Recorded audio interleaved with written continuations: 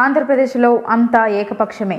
మరో మాట లేకుండా పోయింది. వైఎస్ఆర్సీపీ ప్రపంచనం సృష్టిస్తుండడంతో టీడీపీ జనసేన చతికిల పడిపోయాయి. ఫ్యాన్ గాలిని తట్టుకోలేక సైకిల్ పంక్చర్ కాగా గ్లాసు పగిలిపోయింది. వైఎస్ఆర్సీపీ గెలుపు ఖాయం అవ్వడంతో వైఎస్ జగన్కు అభినందనలు వెల్లువెత్తుతున్నాయి. మరోవైపు వైఎస్ఆర్సీపీ నేతలు చకచకా ప్రభుత్వం ఏర్పాటు దిశగా అడుగులు వేస్తున్నారు. ఈ నెల ముప్పైన వైఎస్ జగన్ ఏపీ ముఖ్యమంత్రిగా ప్రమాణ స్వీకారం చేయనున్నారు. కలియుగ ప్రత్యక్ష దైవం వెంకటేశ్వర స్వామి కొలువే ఉన్న తిరుపతిలో జగన్ ప్రమాణ స్వీకారం చేస్తారని ఆ పార్టీ శ్రేణులు వెల్లడించారు.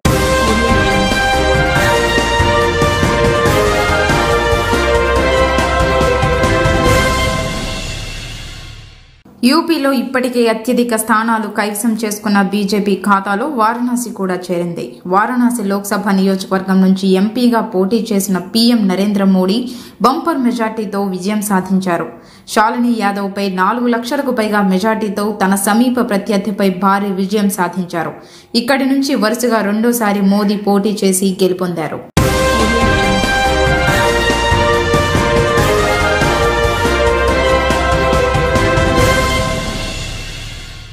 కరీంనగర్ లోక్సభ స్థానంలో బీజేపీ ఘన విజయం సాధించింది. రాష్ట్ర వ్యాప్తంగా టీఆర్ఎస్ హవా వీస్తుంటే కరీంనగర్లో మాత్రం కమలం వికసించింది. టీఆర్ఎస్ సీనియర్ నేత సిట్టింగ్ ఎంపీబీ వినోద్ కుమార్పై బీజేపీ అభ్యర్థి బండి సంజయ్ ఎనభై ఏడు వేలకు పైగా ఓట్ల తేడాతో భారీ విజయం సాధించారు. గత అసెంబ్లీ ఎన్నికల్లో పోటీ చేసి ఓడిపోయిన బండి సంజయ్కు సానుకూల సానుభూతి పవనాలు విచ్చాయి. గత ఎంపీ ఎన్నికల్లోనూ ఆయన పోటీ చేసి ఓడిపోయారు. ఈసారి కరీంనగర్ ఓటర్ మార్పు చూపించారు.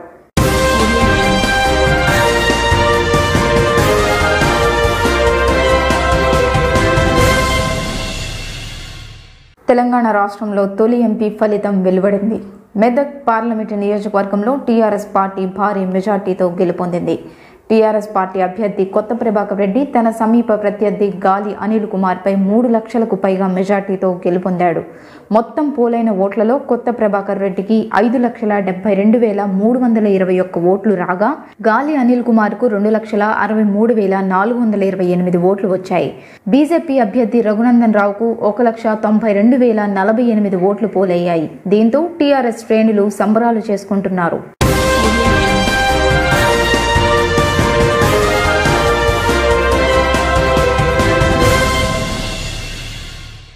ఆంధ్రప్రదేశ్ రాజకీయాల్లో మరోసారి ఆనవాయితీ కొనసాగింది. తెలుగు రాష్ట్రాల్లో పాదయాత్ర చేసిన నాయకులు అధికారం చేపట్టడం అనే సంప్రదాయం ఈసారి కూడా కొనసాగింది. తన తండ్రి బాటలో సుదీర్ఘ పాదయాత్ర చేపట్టిన వైఎస్ఆర్ కాంగ్రెస్ పార్టీ అధ్యక్షుడు జగన్ తాజాగా అధికారం చేపట్టబోతున్నారు. ఇడుపులపాయ నుంచి ఇచ్చాపురం వరకు రాష్ట్రంలోని పదమూడు జిల్లాల్లో సాగిన ప్రజా సంకల్ప యాత్ర చేశారు.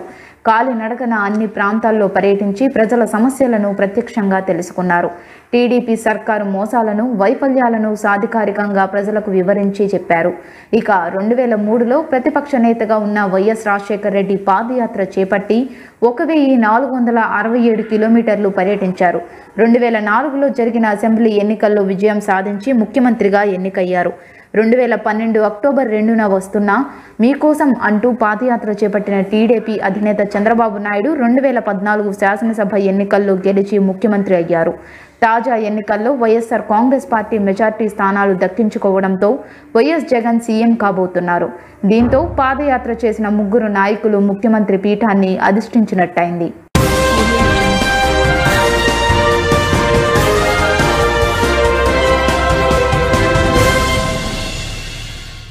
గుంటూరు జిల్లా బాపట్లలో జోరుగా గంజాయి విక్రయాలు జరుగుతున్నాయనే ఆరోపణలు ఉన్నాయి. గంజాయి మత్తులో యువత జోగుతోంది.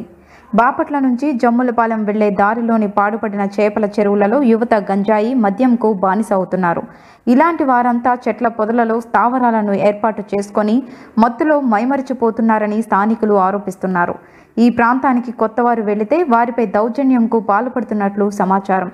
అధికార యంత్రం చూసి చూడనట్లు వ్యవహరించడం వల్ల తరచూ ఇలాంటి ఘటనలు పునరావృతం అవుతున్నాయి.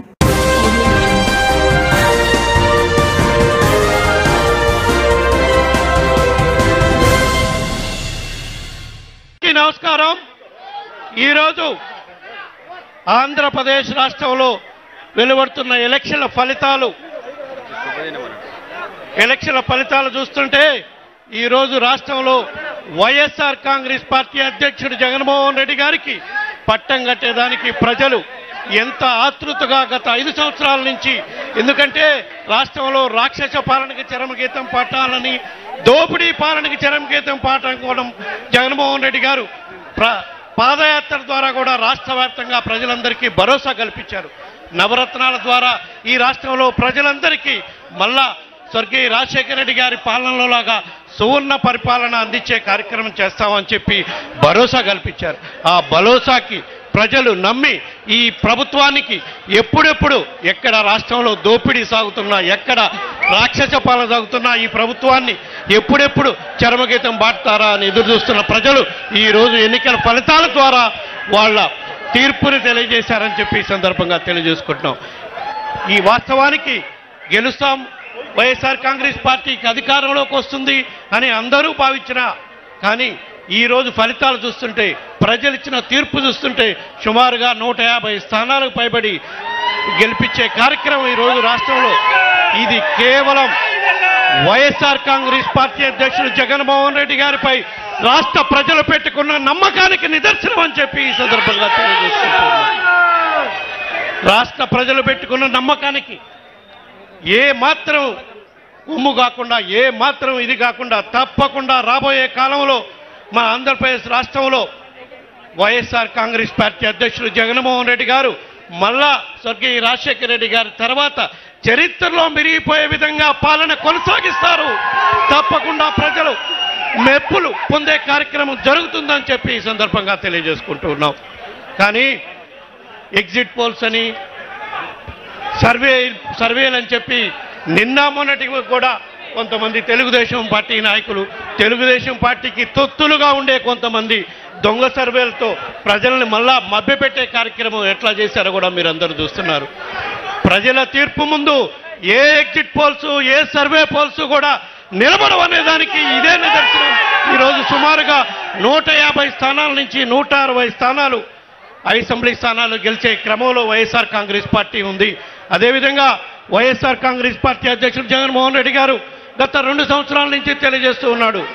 వైఎస్ఆర్ కాంగ్రెస్ పార్టీ అధికారంలోకి వచ్చినాక ఇరవై ఐదు ఎంపీ స్థానాలకి ఇరవై ఐదు ఎంపీ స్థానాలు గెలిపించుకొని రాష్ట్రానికి ప్రత్యేక హోదా సాధిస్తామని చెప్పిన మాటను కూడా రాష్ట్ర ప్రజలు నమ్మి ఇరవై ఐదు ఎంపీ స్థానాలకి ఇరవై ఐదు ఎంపీ స్థానాలు గెలిచే పరిస్థితి ఈరోజు రాష్ట్రంలో వచ్చిందని చెప్పి ఈ సందర్భంగా తెలియజేసుకుంటూ రాబోయే కాలంలో తప్పకుండా వైఎస్ జగన్మోహన్ రెడ్డి గారు రాష్ట్రంలో ప్రజలు ఏ విధంగా అయితే పాలన కొనసాగించి అందరికీ ఆ- ఆమోదయోగ్యమైన పాలన ఏ విధంగా సాగాలని ప్రజలు కోరుకుంటారో అటువంటి పాలన జగన్మోహన్ రెడ్డి గారి నాయకత్వంలో వైఎస్ఆర్ కాంగ్రెస్ పార్టీ అందిస్తుందని చెప్పి ఈ సందర్భంగా తెలియజేసుకుంటున్నాం.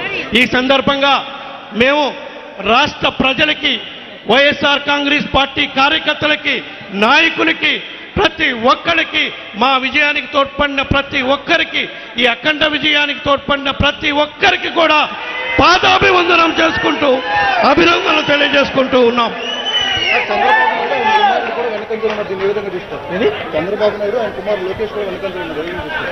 ప్రజా తీర్పు ముందు ఎవరైనా కొట్టుకొని పోవాల్సిందే అనే దానికి ఇదే నిదర్శనం. ఇప్పుడు ఈ ఇన్ని స్వీప్ చేయడానికి ప్రధానంగా దోహదపడిన అంశాల్లో ఏది ప్రధానమని భావిస్తారు ప్రధానమైన అంశం అమ్మా జగన్మోహన్ రెడ్డి గారిపై నమ్మకం. జగన్మోహన్ రెడ్డి గారిపై జగన్మోహన్ రెడ్డి గారు ప్రజల కోసం ఆయన మూడు వేల ఆరు వందల నలభై ఎనిమిది కిలోమీటర్లు ఎండనక వాననక పాదయాత్ర చేసి వాళ్ళకి నవరత్నాల పథకాల ద్వారా మేలైన పాలన అందిస్తాను అని భరోసా కల్పించారో అది నమ్మే ఈ రోజు ప్రజలు జగన్మోహన్ రెడ్డి గారికి ఇంత మెజార్టీతో విజయం కట్టబెడుతున్నారని చెప్పి మేము నమ్ముతూ ఉన్నాం. చూసి చేసి చూపిస్తాం నాయన. మేము అన్ని లెక్కలేసుకునే మా పార్టీ అధ్యక్షుడు నవరత్నాల పథకాలను పెట్టడం జరిగింది. తప్పకుండా ప్రభుత్వం స్థాపించిన మరుసటి రోజు నుంచే మా పథకాలను ఏ విధంగా అమలు చేయాలనే దాని మీద మేము పార్టీ అధ్యక్షుడు జగన్మోహన్ రెడ్డి గారు దృష్టి పెడతారు. తప్పకుండా అన్ని పథకాలు ఆమోదయోగ్యమైన పథకాలన్నింటినీ కూడా తప్పకుండా సూచ తప్పకుండా అమలు చేస్తామని చెప్పి సందర్భంగా ఆయన ఎవరికన్నా ఉపయోగపడ్డాడు అంటే అదేమన్నా చంద్రబాబు నాయుడికి ఉపయోగపడటం కోసమే ఆయన వచ్చారు కానీ ఫీల్డ్లోకి. ఎవ్వరికీ ఉపయోగపడిన దాఖలాలు ఈ ఫలితాలు చూస్తుంది నాకు అనిపిస్తుంది. సుమారుగా ఇంకా మా పార్టీ అధ్యక్షుడు సాయంకాలం మాట్లాడతారు. ముందు స- ముందు త్వరలోనే రేపో ఎల్లుండో సుమారుగా మా పార్టీ అధ్యక్షుడితో మాట్లాడి బహుశా రేపు రావాలంటే అందరు అభ్యర్థులు రావడానికి కొంచెం ఇబ్బందికర పరిస్థితులు ఉంటాయి కాబట్టి బహుశా అభ్యర్థులందరూ కూడా ఎన్నికల ఫలితాలు వాళ్ళ సర్టిఫికేట్స్ తీసుకోవాల్సిన అవసరం ఉంది కాబట్టి బహుశా ఇరవై ఐదో తారీఖు మార్నింగ్ పదకొండు గంటలకని టెంటేటివ్గా అనుకుంటున్నాం.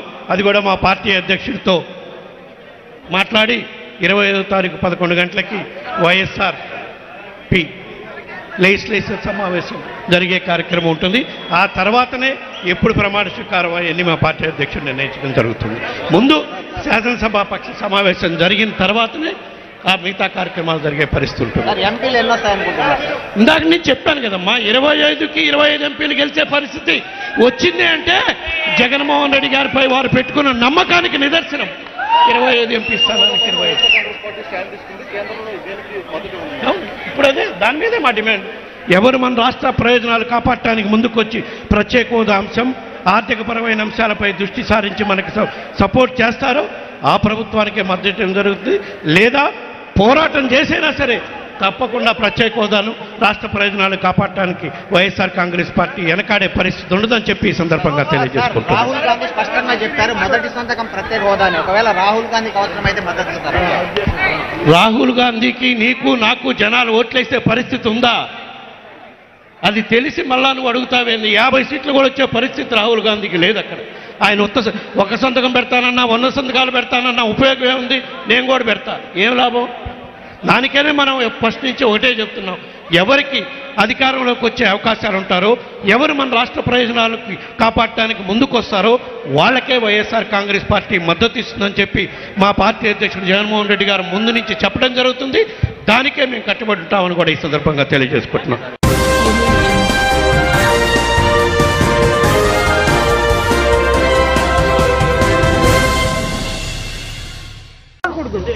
జగన్మోహన్ రెడ్డి గారు ముఖ్యమంత్రి కావాలని ఈ రాష్ట్ర ప్రజలు ఎంత ఆశగా ఎదురు చూస్తున్నారో నేను చెప్తూనే వచ్చాను. దానికి తగ్గట్టుగానే ఈరోజు నూట యాభై సీట్లకు పైగా ఆధిక్యంలో ముందుకు వెళ్తుండడం చూస్తుంటే మరి మీకే అర్థమవుతుంది రాజన్న రాజ్యం కోసం ఈ రాష్ట్ర ప్రజలు ఎంతగా ఎదురు చూస్తున్నారని. జగనన్న పాలనలో మళ్ళీ ప్రజలు రాజశేఖర రెడ్డి పాలనలో లాగా సంతోషంగా ఉంటారు ఏ కష్టాలు లేకుండా. అనేక సంక్షేమ పథకాలతో అందరూ సుఖంగా ఉంటారని కూడా గ్యారంటీ ఇవ్వగలను. అండ్ చంద్రబాబు నాయుడు గారు చెప్తున్నాను పసుపు కుంకుమ అని చెప్పి ఆడవాళ్ళని లాస్ట్ మినిట్లో నాలుగు చెక్కులు ఇచ్చి మోసం చేయాలనుకున్నాడు. కానీ ఆడవాళ్ళు అవి వాళ్ళకి రావాల్సిన డబ్బులేని తీసేసుకొని ఏ విధంగా ఉప్పు కారం పూసాడో చంద్రబాబు నాయుడుకి మీరు అందరూ చూశారు. Bye bye Babu!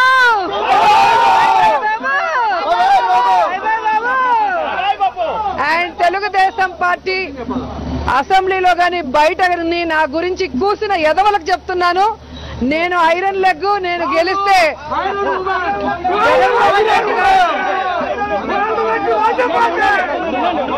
నేను గెలిస్తే జగన్మోహన్ రెడ్డి గారు ముఖ్యమంత్రి కారు అని చెప్పిన ఎదవలందరికీ ఈ రోజు తెలిసిందా?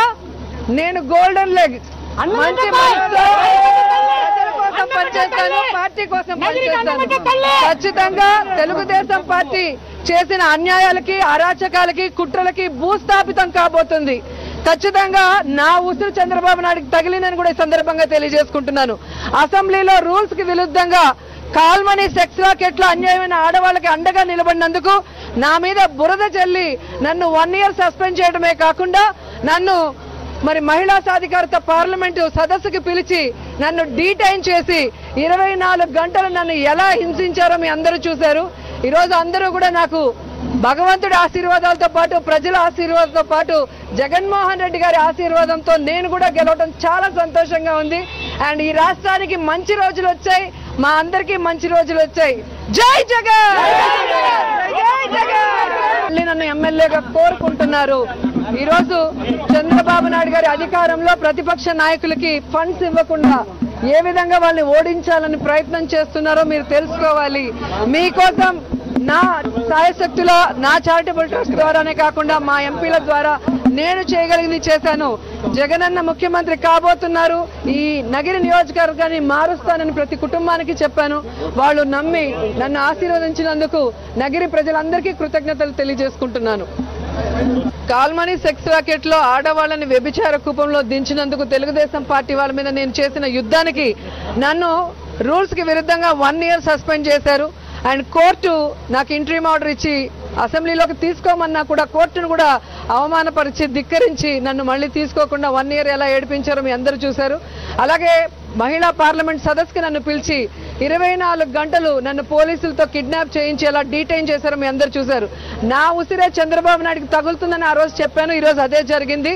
అండ్ రోజా ఐరన్ లెగ్ ఆవిడ గెలిస్తే ప్రభుత్వం రాదు అన్న ఎదవలందరికీ ఈరోజు తెలుసుకోవాలి.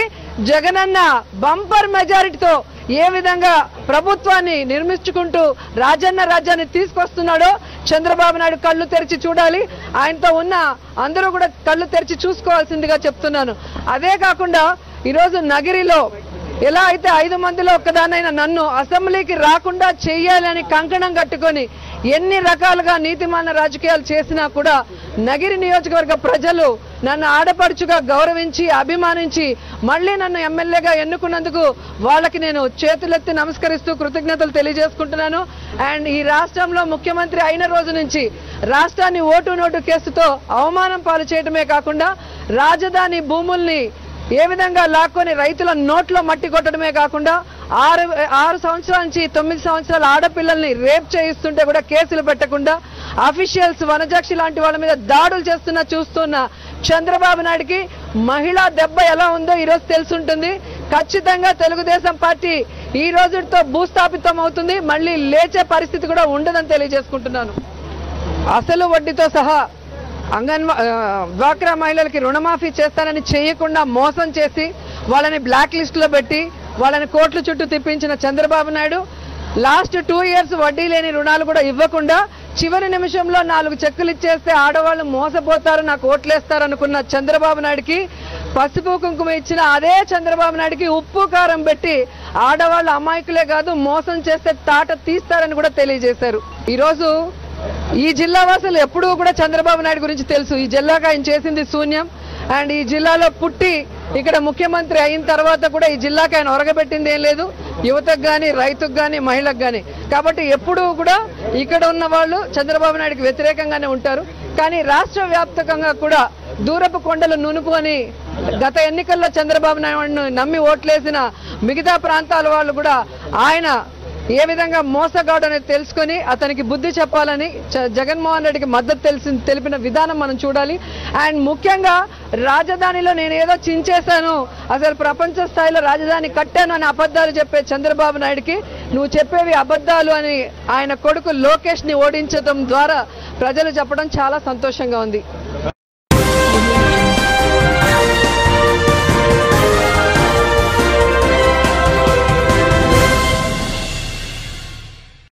We managed to make it. It was an impossible seat to win this time with uh, TRS sweeping. But once again, I think we're going to make it.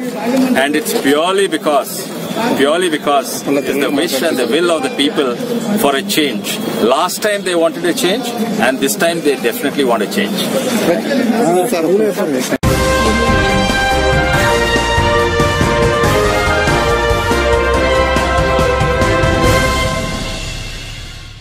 BJP జాతీయ అధ్యక్షుడు అమిత్ షా లోక్సభ ఎన్నికల్లో అద్భుతమైన విజయాన్ని సాధించారు. గుజరాత్లోని గాంధీనగర్ నుంచి పోటీ చేసిన ఆయన బీజేపీ కురువృద్ధుడు ఎల్కే అద్వానీ పేరిట ఉన్న అత్యధిక మెజార్టీ రికార్డును తిరగరాస్తూ కాంగ్రెస్ అభ్యర్థి సీజే చావ్డాపై రికార్డు విక్టరీ నమోదు చేశారు. అద్వానీ గతంలో నాలుగు పాయింట్ ఎనభై మూడు లక్షల మార్జిన్తో గెలుపొందగా అమిత్ షా ఐదు పాయింట్ పదకొండు లక్షల మార్జిన్తో సరికొత్త రికార్డు సృష్టించారు. తాజా విజయంతో అమిత్ షా కూడా లోక్సభలో అడుగుపెట్టనున్నారు.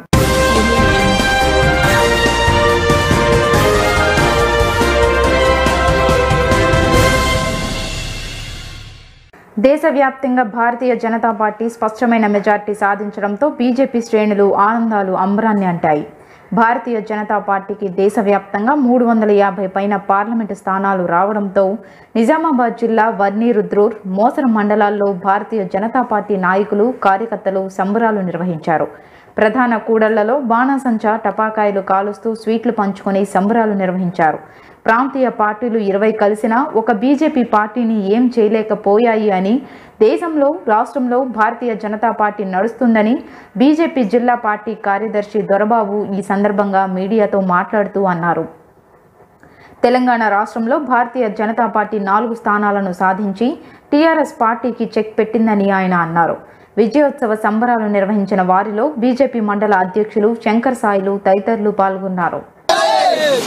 మన భారతదేశంలో మొట్టమొదటిసారిగా మూడు వందల నలభై పైగా మెజార్టీ వచ్చినటువంటి భారతదేశంలో ఇప్పుడు దాకా ఎటువంటి మనకు స్వతంత్రం వచ్చిన తర్వాతే మనం విని కని విని అనుకున్నటువంటి సందేశం సందేశం ఇది. ఈ రోజు నరేంద్ర మోడీ గారి పాలన కోసం మన భారతదేశమే కాకుండా యావత్ భా- ప్రపంచం కూడా ఎదురు చూస్తున్నటువంటి రోజు. ఆయన అండదండలతోటి ఇక్కడ బీజేపీ పార్టీ జిల్లాలో కూడా చాలా అత్యధికంగా మెజార్టీగా బలోపేతం అవుతుంది. దీనికి ఓట్లు వేసినటువంటి భారతీయ జనతా పార్టీకి కార్యకర్తలకి ఓటర్లకి కూడా అందరికీ కూడా మా హృదయపూర్వక ధన్యవాదాలు చెప్తున్నాను. అలాగే ఇప్పుడు జెడ్పీటీసీ ఎంపీటీసీలు కూడా రేపు రాబోతున్నాయి. రేపు పది ఇరవై ఏడో తారీఖున అది కూడా మనం గెలుస్తామని చెప్పి ధీమా వ్యక్తం చేస్తున్నాం.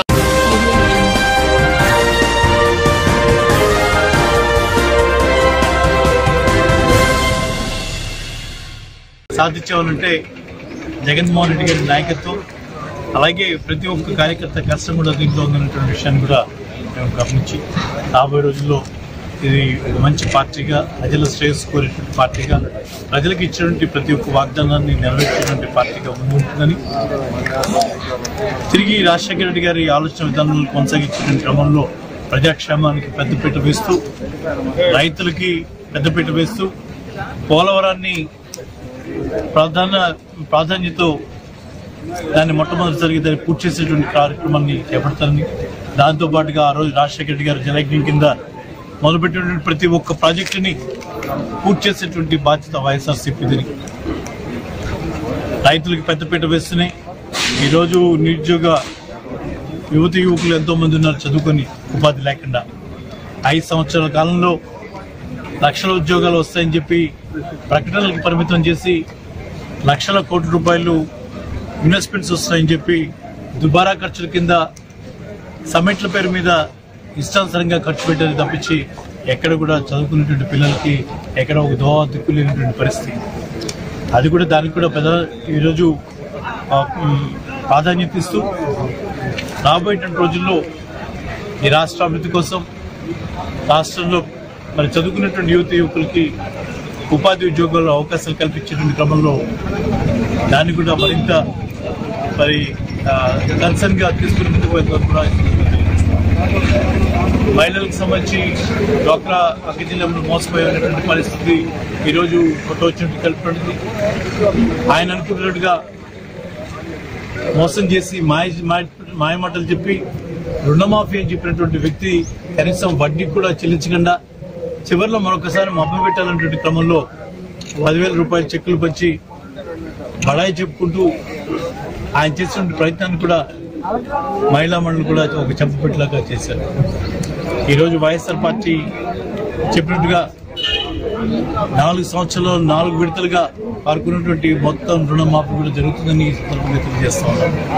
ఖచ్చితంగా రాబోయే రోజుల్లో మరింత బాధ్యతాయుతంగా ఈ గెలుపుని తీసుకుంటాం. ప్రజలకి మరింత బాధ్యతాయుతంగా ఒక మంచి పరిపాలన ఇచ్చడానికి ప్రయత్నం చేస్తాం.